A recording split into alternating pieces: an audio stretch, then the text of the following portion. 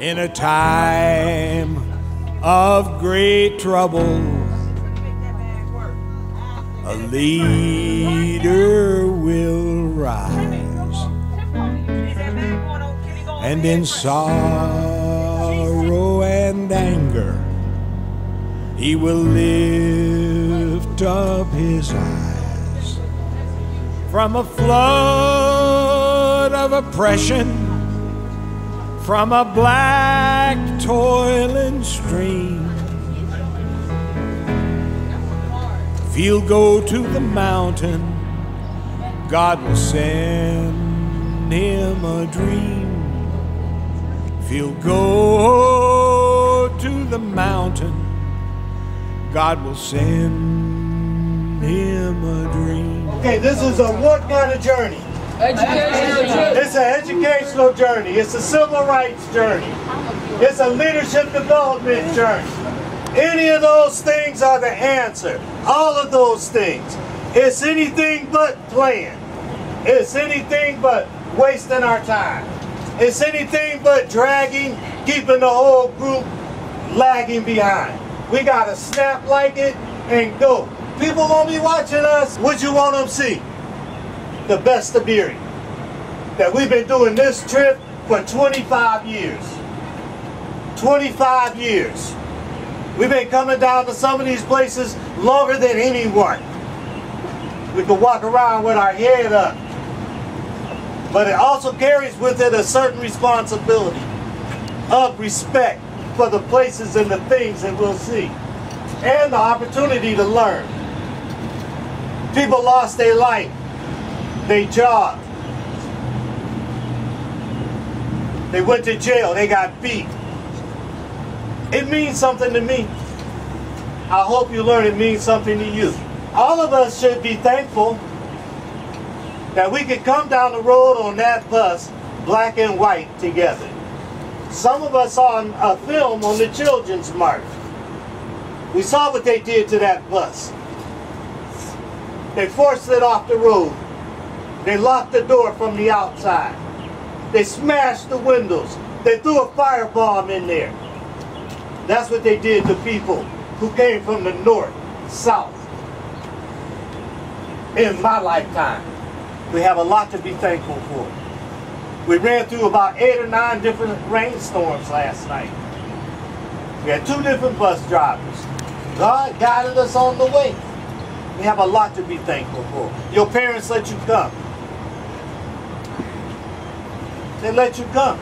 You didn't have to pay. We have a lot to be thankful for. Three young people got shot in Erie yesterday as we left. As we left to go on a peace march, a peace, a peace journey, three people died or got shot. That's how important this trip is to creating leaders so that we can stop that kind of thing in our hometown that's affecting too many of our families. We need leadership, and it's going to come from you young people.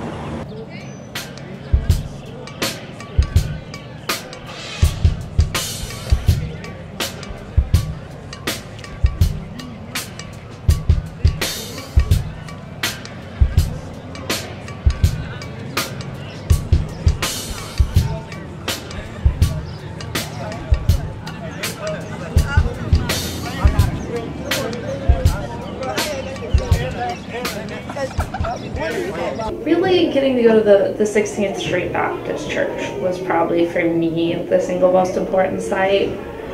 Um, that just, that particular event is so tragic. And, and getting to go there and, you know, see what's there and how they've incorporated that into their history and how how they've used that that experience to like move forward and how it changed the city and that community, particular that particularly that church community. There's a bathroom right there. Some of you can we can spread out down here and that, but make sure you get one of these. We went to the 16th Street Baptist Church in in Birmingham, and again that was a very moving uh, experience because you look and you see these pictures of these children and at the time they were younger than I was when I was there at 12ish 13 possibly 11 but to see they were either my age or younger and that someone would commit an act of domestic terrorism and kill uh, just because people want to be treated as humans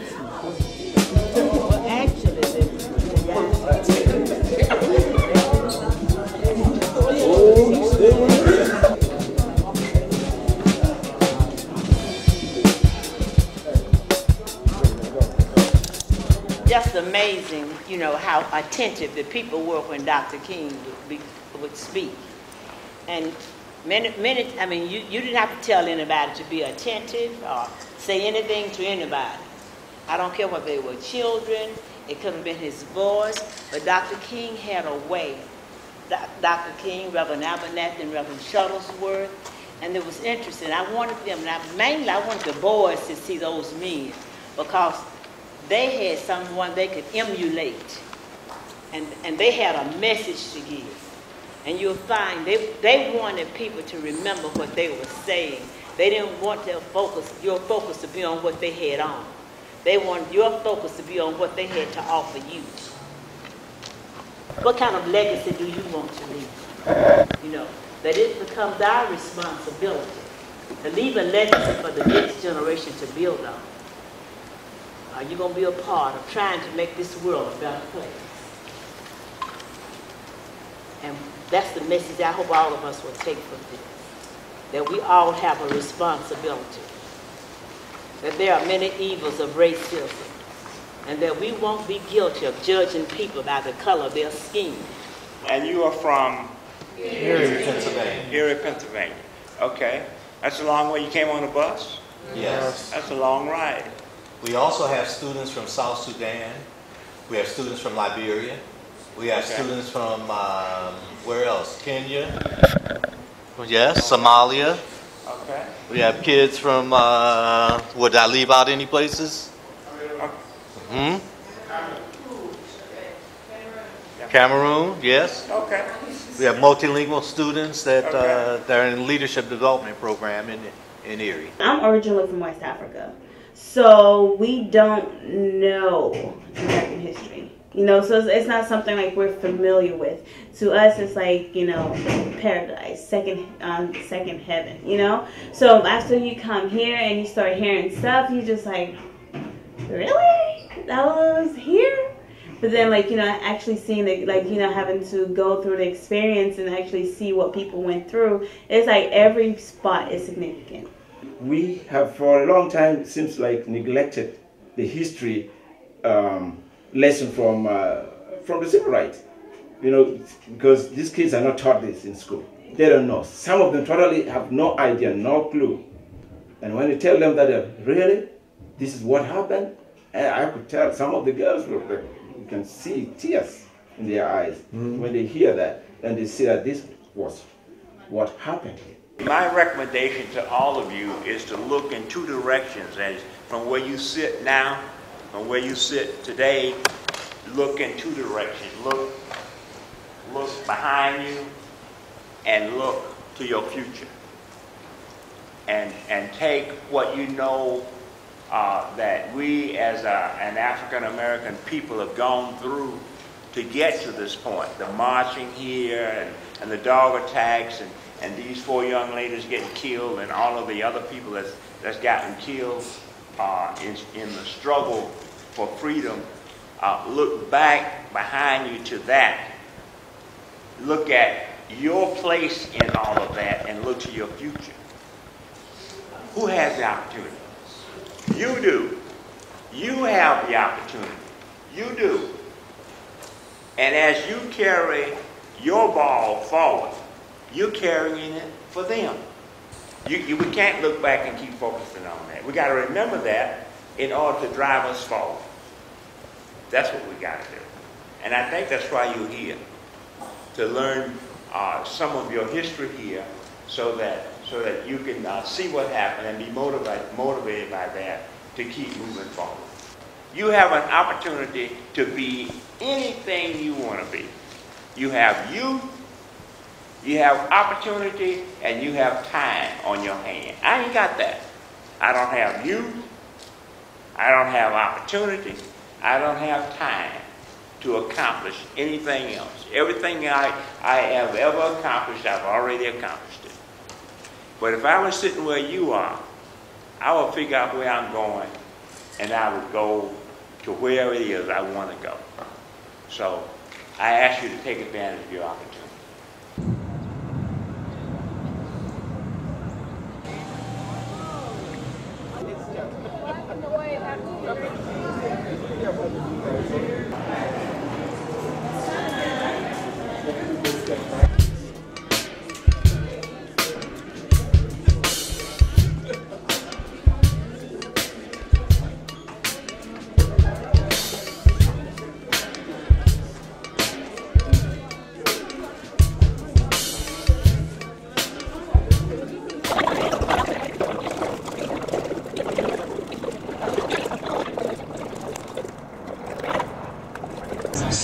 Go back to Erie and help Erie. If you don't help Erie, who gonna help Erie? Everybody can't leave. I feel like you're worthy of an investment. I feel like you can respect somebody who invests in you. I think you it teaches you how to invest in your own self, to re, to expect a return on your investment. We all have an education. Was an investment. Some of us still paying for it.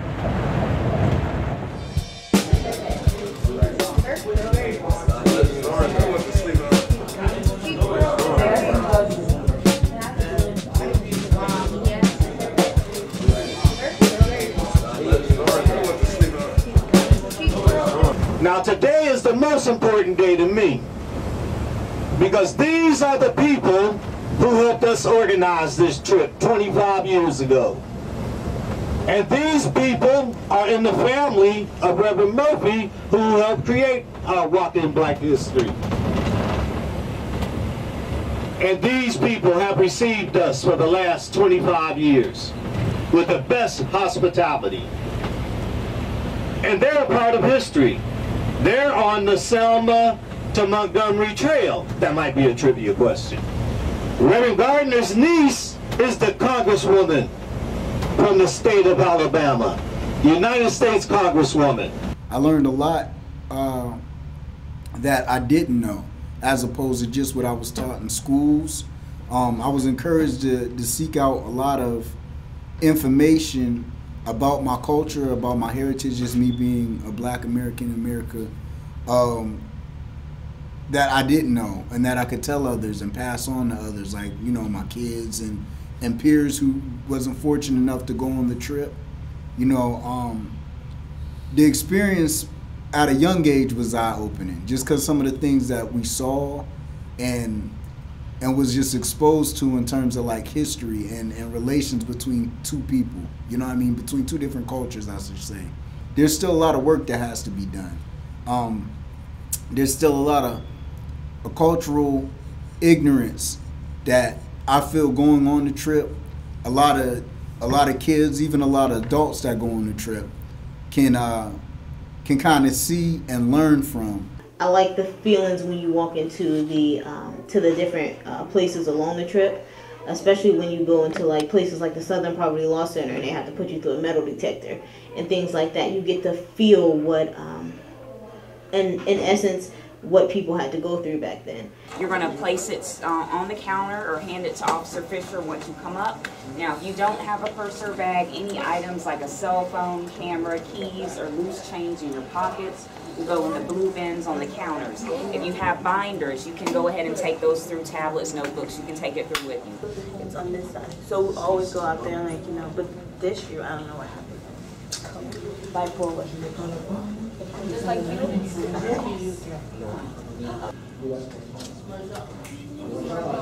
It, it's basically model the just people that back with Oh, that's what you say. What we have are the 40 people who are listed, their names, uh, and the date they were killed. These are victims of civil rights era violence. Um, many of them are activists, uh, were activists, I'm sorry. Um, and you'll see their stories in this first room. Now, another um, organization I want to mention is the Southern Poverty Law Center. And you may or may not have heard of this uh, organization, but it was actually based here, um, it's based here in Montgomery. It was founded here back in 1971. And in a way, it was birthed out of the Civil Rights Movement. Uh, Morris Dees and Joe Levin, who were the two co-founders, were born and raised here in Montgomery. During the Civil Rights Movement, they saw a lot of what was happening in the state of Alabama. Um, so that's why they really wanted to start this nonprofit law firm to take on civil rights cases, uh, many of which were still happening uh, post-civil rights era.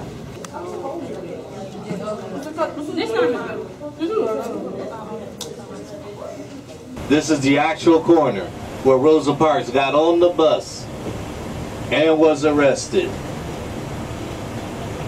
And to the left is Troy University. Any questions? Is the street named after her? I don't believe so, but let's see. It says Molton Street and Montgomery Street. That was a good question. Because there are many streets in America named after Rosa Parks. Rosa Parks Boulevard. I know they have that in, in like some of the big cities in America. That's an effort you all can do it here. You want to name a street after Rosa Parks? Pick a street. Organize. Approach the city. This trip allows you to see for yourself who we really are. It helps society as a whole when we each have a fuller picture of who we are. Um, it, it, it harms both sides of the table when we are ignorant about one another. Um, so I think it's a great program specifically and first and foremost for black children, definitely, but also it is um, helpful and necessary for all children from all types of different um, diverse uh, backgrounds. I love um, Viola Liuzzo's uh, her grave marker because I like the fact that it's unfortunate that they had to um, put the fence around it because of people defacing it. But I like the fact that they, they took that stand and they did that because that is a, a great part of history. And it does show people that um, women fought, and not just women, but white women too. Here was a white lady who came down south to help the black people and lost their life. This lady, the one life, showed again that it wasn't just black people and it wasn't just children, but that it was also uh, whites and women and other professional people who made America together a better place. So Viola Liuzzo uh, is someone who we tried to stop and acknowledge and pay our respect to.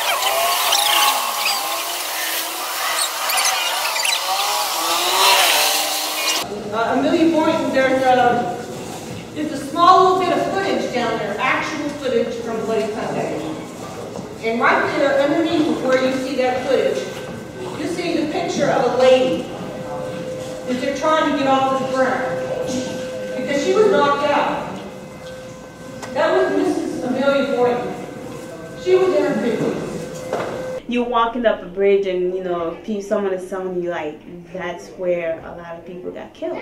People like jump, and it's like wow, you know, and you just walking freely with no one like you know harassing you or trying to beat you down or sending dogs at you or you know. So it, it's it's like every every location have their own significant meaning.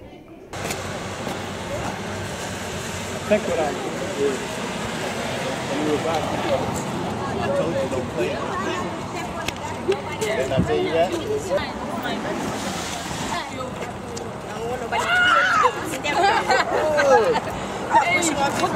Your brother's so loud.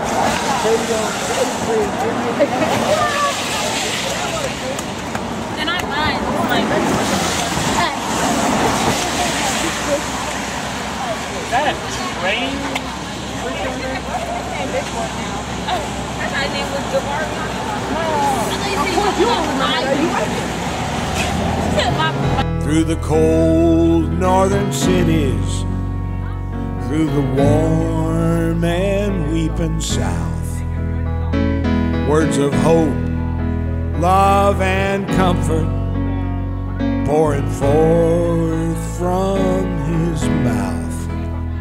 Blessed peace, blessed freedom in an unending stream. If you'll just love your brother, preach the man with a dream.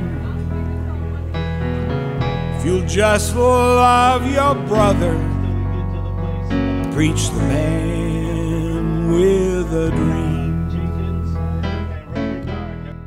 We're so excited, even though it's raining on the outside. We are cheerful on the inside. Amen. Amen. Amen. Who would have thought 25 years ago, walking in black history would still be in existence? Thanks to this strong man right here who picked up the torch that Elder Murphy started 25 years ago, and he's been carrying the torch ever since. All right.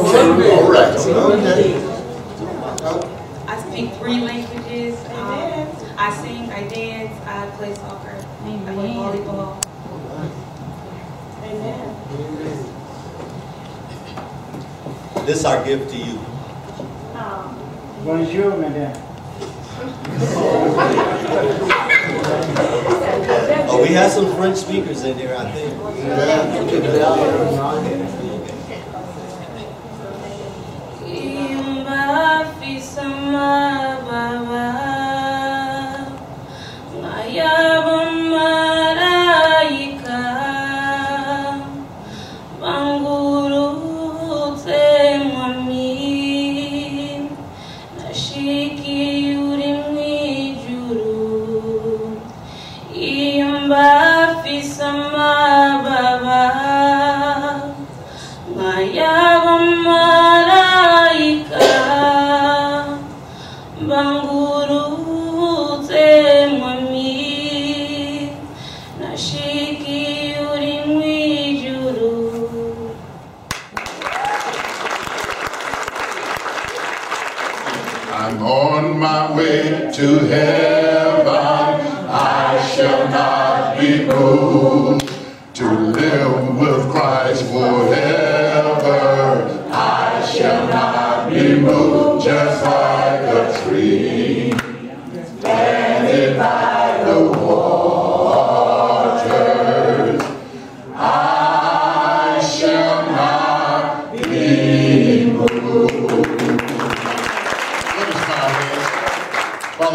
Come now to close of this tree planting ceremony in, in honor of Elder Murphy. We thank you, Lord God, for his legacy. May it continue to live on. We thank you for all who's traveled distance and near. We thank you now that we give us traveling grace through this rain and through these road conditions that we'll arrive safely at Beulah and safely to our resting place. These are all blessings we ask now in the and Son Jesus' name.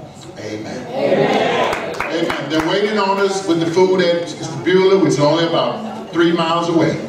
We get there, waiting on us. Amen. I remember very vividly 25 years ago when I got a call from Reverend Murphy in Erie, Pennsylvania, asking that I would help him do this and coordinate this in. And I, it was Reverend Murphy's vision. I said, what do you want me to do? He said, you gotta find me somewhere that's for the kids to stay. And I think the first year, he brought two busloads of children down, Gary, and we were, we were fed. And I said, well, I passed a little church on the side of the road, which is Canaan Hill, which you just stopped, which you just stopped there, where you planted the tree in his honor. Uh, Reverend Murphy uh, was a great man, and then he, he took Johnny Ford and coordinated Tuskegee in. And uh, he was he was gracious because one year he had me to come to speak in Erie, Pennsylvania. He also had Johnny Ford to come speak in the Erie, Pennsylvania to a group of citizens in Erie that would help him raise the money to buy the buses to send you here. All right. So Reverend Murray was not formally educated, and, and he would tell you that quick. But in ways of culture, in terms of love, in terms of experience, he was truly a man of God, and he was a visionary. All right. So he, when we got to Canaan Hill, I'm going to tell you how the story about the rock started. When we got to Canaan Hill, he said, what you going to tell them? and I was a young minister 25 years ago. I not too long got into ministry, and I was studying a story in the Bible. This story is from the book of Joshua.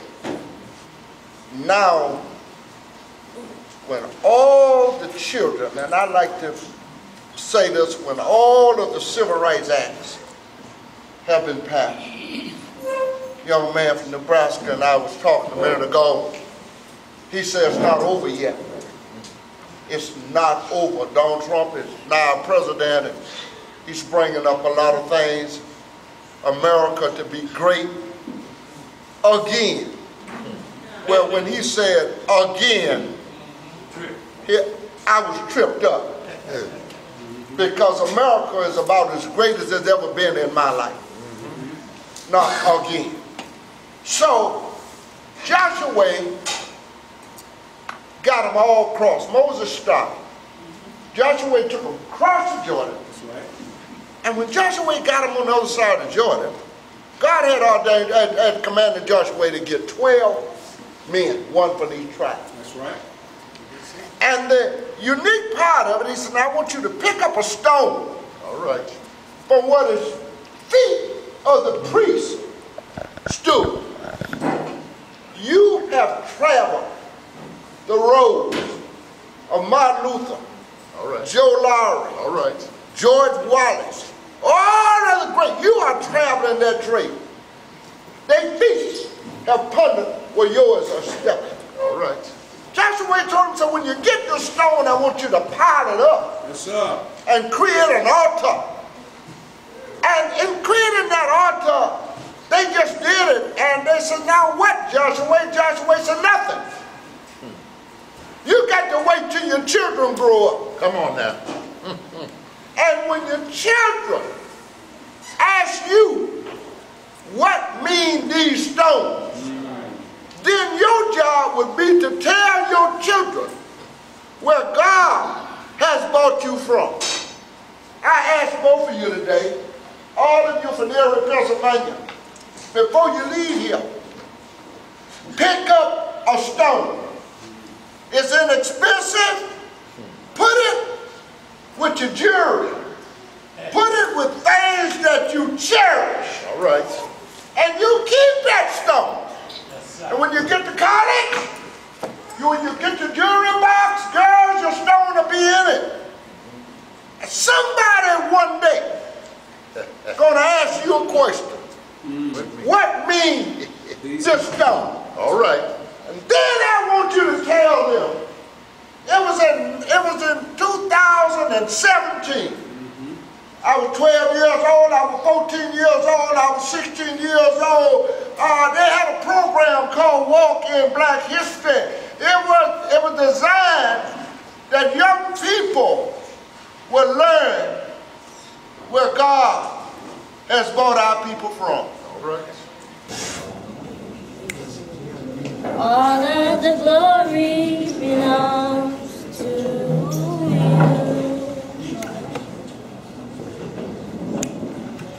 All of the glory belongs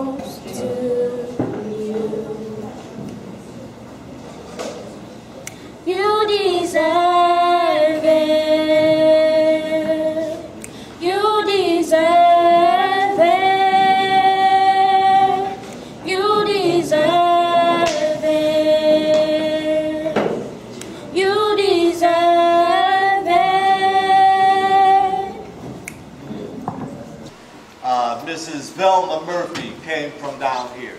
That was Reverend Murphy's wife. And uh, it was through that relationship that we were able to make the connection that has stood the test of time for 25 years. And I can tell you without a doubt, there is a student or two sitting here today that will keep this trip going on for the next 25 years. Because in 1992, I didn't know that this trip was going to last 25 years. In 1992, I didn't even know where I was going. And that I worked in the mayor's office as the only man and the only black in the mayor's office. Reverend Murphy came to the mayor and told her he wanted to put a trip together to go south. And she went out and helped them raise $2,500 apiece from area local uh, college presidents to purchase uh, or reserve the first two buses. We also brought two vans and about three cars along on that first trip and about 90 students. We had teachers, we had students as young as six or seven years old and as old as seniors in high school. And over the years, the cost of that bus that went from 2,500 to 4,500 to 6,500 to 10,000 to 11,700 this year. So we went from two buses over several years down to one bus. And the students that I will introduce to you momentarily here are the students who earned the right and had the privilege of coming on this trip so that they could learn about walking in black history, so that they could understand what tolerance is, so they could appreciate tolerance education, how to handle a bully, how to, how to uh, accentuate and celebrate the differences between us, All and right. not to focus on, on, uh, on those things. And so, uh, again, I thank uh, Pastor Gardner for helping give me the courage, the strength, the guidance, the knowledge, the confidence, and the support to go back to Erie, Pennsylvania and stand up. And the people in Erie, they call me radical. They think I'm militant. But I can show them some more militant and radical people than me in Erie. They're less educated about the truth. I've, I've been armed with the truth. I've been given the knowledge of the suffering and the price that people have paid for us to have a, a better life in America, not just in the South. If you came up to Erie, Pennsylvania today, you would think you have to fight this fight all over again. Because I live in a city where we have two or three black policemen. We have one black fireman. Out of 100 teachers, two of them are black. 98% of the teachers are white. 60% of the students are black. No black bankers, few black insurance people. You would wonder, what did we do? What did you sacrifice for? For us to live up north in those kind of conditions. As we left our community to come down on a peace march to recognize nonviolence, three young people, these people's age, shot each, shot them, shot somebody. On the day we left, I believe one of them died. That's the story of our community. The young people don't have any hope. These students will go back to Erie, Pennsylvania knowing that hope is alive and hope is available. With, uh, along with the education the learning about who they are. There's a, a plethora of things that I, I learned, that uh, I was shown, uh, that just aided me as a person, period. Because leaving the trips, I always felt like, okay, I have to do something. If I don't do nothing, I got to do something. You know what I'm saying? In terms of just being productive and moving forward and trying to be an influence to my peers that are minorities and, and add something to the culture, you know, especially since I wanted to rap. So, you know I mean? That made me look at the history of hip hop a little bit more and want to delve into where did this come from? Why is this that way? You know what I'm saying? Why is it so pro black when it was first, I guess, discovered or invented or, you know what I'm saying? Whatever you want to call it when it first entered into the culture, you know what I'm saying, of American culture as a whole, why was it like this? And I got that answer, and I believe the questions came from going on the Walking Black History trip and just learning about, you know, what jazz musicians was was going on and who was doing what at this time in American society as opposed to, you know, what we're always just told, like you know what I mean? You know what was going on during JFK, what he was about. I figured out why he was like that, why he he was such a compassionate president, why Dr. King marched. You know what I'm saying? Why Malcolm X felt the way that he felt, and other people that surrounded him that also felt the same way that you really don't talk about. So you know what I'm saying? Like it was it was learning, definitely learning, man. Learning experience about a lot of things.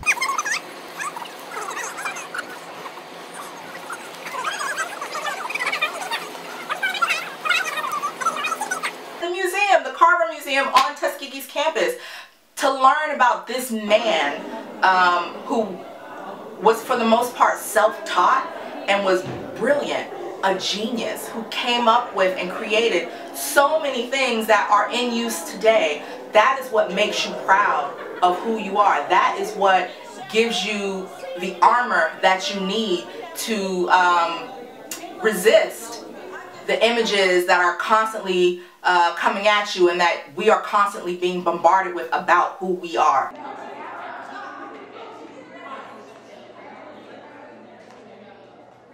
George Washington Carver and the peanut, you know what I'm saying? I didn't know. I didn't know the man had so many uses, you know what I mean, found so many uses for the the peanut plant and and and I didn't know that it was more than just botany for him that he also was a thinker that that cared about you know African American culture and, and, trying to preserve it the best he can how he was such a thinker and such an advocate for the advancement of minorities as a whole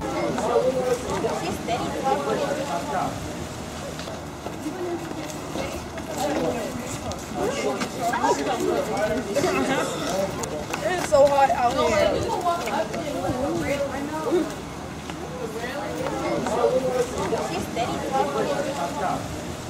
We don't live in a, in a time now where we can just uh, have an expectation of things going our way, that you're going to get lucky. Now, one of the boys asked me why uh, Washington was a segregationist. There are a lot of people who didn't believe in integration. There are some people even today that think integration was the worst thing ever happened to black people. Why? Who know why? Hmm? still not accepted. No, not because of slavery. Because, and we're still not accepted. That's a good one. We're still not accepted. But what? Well, I'm looking for something else. Like back then, they actually have their community, the black community, where you have like you know your lawyers, like you know everyone was important. Nowadays, like you know, you have white people struggling to actually get up there and you see them. So it's like instead of us having our own community where we can all be important people, now we're like struggling, like you know, and it's barely you can like he was saying. That's like, a good start. That's a good start. She got the fundamentals of it. But when there was segregation, we had black teachers, black hotels, black baseball teams, black basketball teams, black tailors, black theaters, black everything. We had it. And that there and it wasn't for I'm black and I'm proud. It was for the money, for the economics of it. You can hire somebody. That black, uh, uh, what's her name? Madam C.J. Walker was the first millionaire, first woman millionaire, not the first black woman millionaire, the first woman millionaire. Selling, selling what? Hair products. How many y'all still mess with your hair? Put stuff on it. One week, the next week. It's a thriving business. And oh, she recognized that. And that, but before integration, when there was segregation, we had those kind of opportunities and things. So there are some people who believe integration uh, really set us back because now we're not motivated to have our own. We won't even shop at our own people's place. That's why we tried to do a lot of shopping at people's places when we came down here. Even if we only spent $1 or $2 or 50 cents, the economic impact for them uh, adds up. Uh, we could have took all our money back to Erie and took it to the Mill Creek Mall and got nothing back for it. Not even the benefit of somebody be even black on the cash register taking it. If it's one thing you'll notice down here, you got black people at the airport, the bus station, the phone company, and that are working on the pole, working in the hole that you dig in, the construction, they working in all that kind of stuff. We don't see that in Erie. It's hard to get motivated that you can do that without seeing it. You be around here long enough, you'll believe in, oh, I can do that. Oh, I want to do that. That's why it's all connected. But your education is important. It's the most important thing. It's the most valuable thing you have.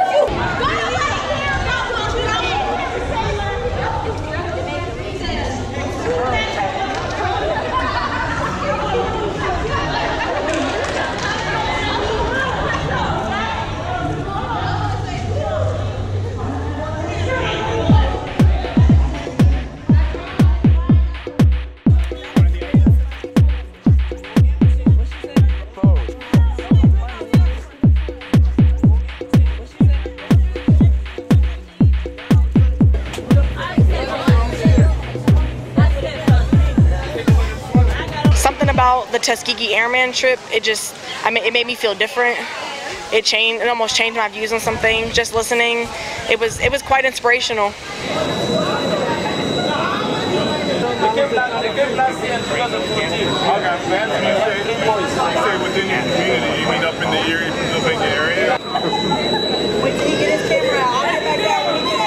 When we leave here, if we leave at 9 o'clock in the morning, it's 10 o'clock in Atlanta.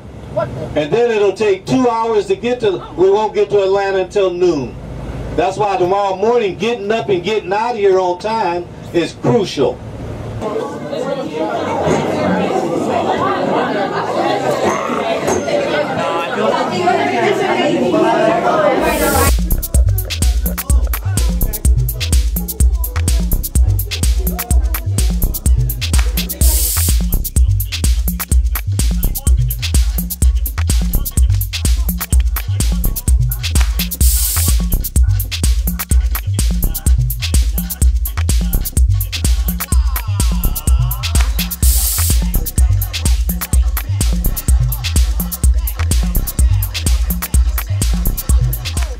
For allowing not only me, but everyone in this room the opportunity to not only uh, not only see what happened in the past to get us to where we are right now, but to also know what is going to happen.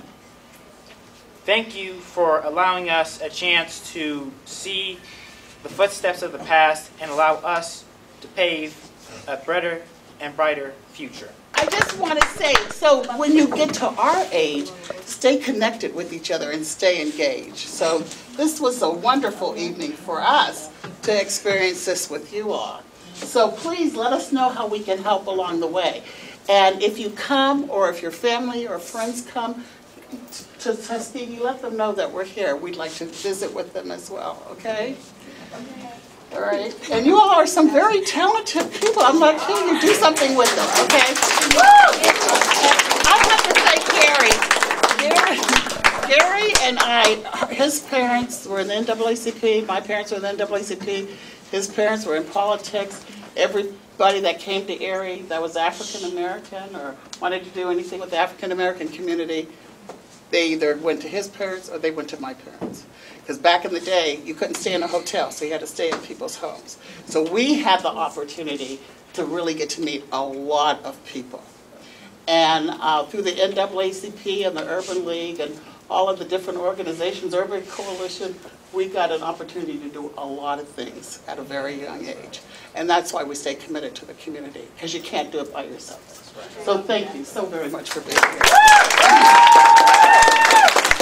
We do want to thank our hostess and hosts.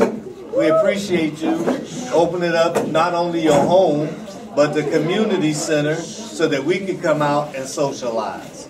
So we would have an opportunity for our young men and young women to interact together in a spirit that's up here, where they're not fighting and arguing and putting each other down. So we can celebrate being on the same team, on the same page, unity in the community. Because we know we face an awesome challenge when we go back to Erie. Erie in need of our leadership. They done reduce five schools down to two. No one knows how that's going to turn out. Everybody's worried, including some of you.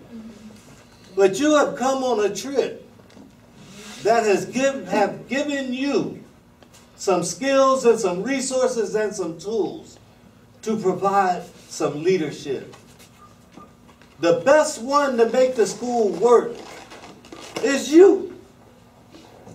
Is you. If you provide the leadership, lead the other kids, and show them the way, we can have unity in Erie High School. Vamos!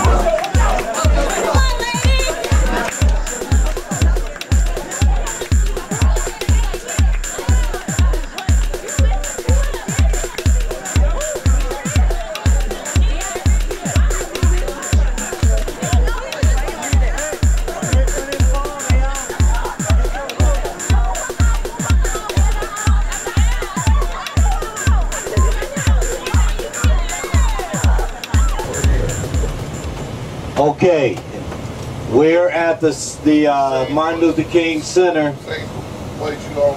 The church here on the right, Ebenezer Baptist Church, is the church where Dr. King's mom was murdered at playing the piano one Sunday morning. You can go in there, we can walk through the left, we can walk through the right. Over here is the fountain, the eternal flame. Dr. King's uh, crypt and his wife's crypt. On the left uh, is the historic site. He's from Erie, Pennsylvania, Bernard Batley, and that.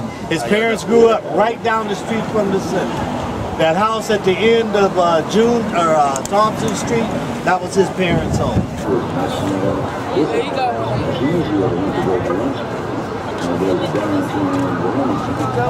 Uh, without the struggle of those folks, we would not even be here, you know. Uh, even though um, the civil rights plus the struggle for colonialism in Africa, you know, all like help each other. I see a lot of good, but a lot of good comes with a lot of sacrifice. And that's just, it just is repeated all through history. They have. They have. They have.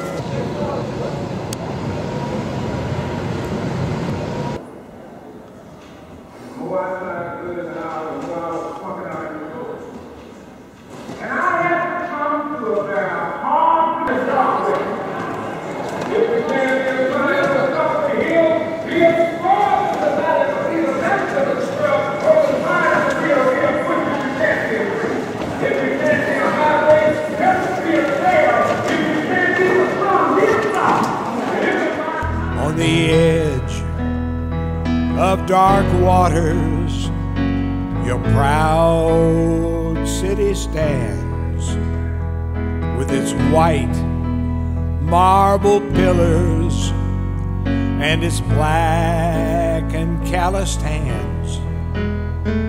In a crack of loud thunder, midst the moans and the screams. You can murder the dreamer, but you can't kill his dream. You can murder the dreamer, but you can't kill his dream. I think that's what basically the trip is for. Like giving these kids, you know, that um, mindset that even though you're in this situation, it's up to you. You like, you know, yeah, you might not see it in your surrounding, but you can make it. You can actually be that person you want to be. You don't have to like, you know, um, be afraid or hold back or I think you're not important. You know, everyone is a leader. You just gotta like, you know, take that out. And that's what, and not even like the trip, that's what this whole organization is about. That's what Mr. Horn teach the kids here. Being a leader. Cause he'd been to the mountain and he'd seen that promised land. And he held a bright future in the palm of his hands. Saw the children of sorrow in an unbending stream. They smiled when he left them, cause he left them his dream. Yes, he smiled when he left them, cause he left them